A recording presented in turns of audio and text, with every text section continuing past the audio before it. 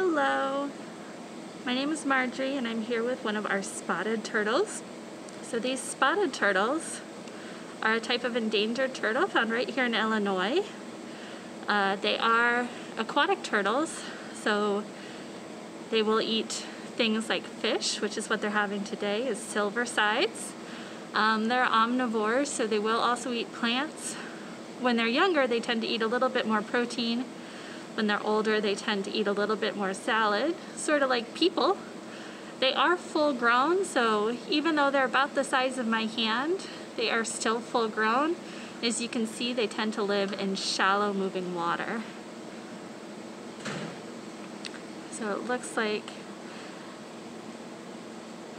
this one found another piece of fish here he wants to eat. There we go. So we're feeding them thawed silver sides uh, they might also get um, various types of invertebrates too, and uh, as well as taking nibbles of some of the plants that they have in their habitat.